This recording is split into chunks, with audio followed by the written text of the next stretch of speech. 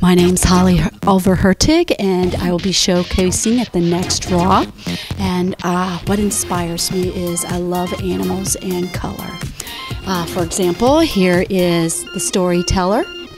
Um, I uh, what uh, things that just make me go is my family, um, a lot of other things, friends, higher power, everything. Um, my goal is to be an art teacher uh, full time. I love teaching. I teach at Michaels, I teach at Poway Adult School. Um, I would love to hold classes and paint outs at my house. And I also want to do, uh, I, one thing I wanted to show is that I have achieved iridescence in paintings, and I've also gotten the reflections of cat eyes.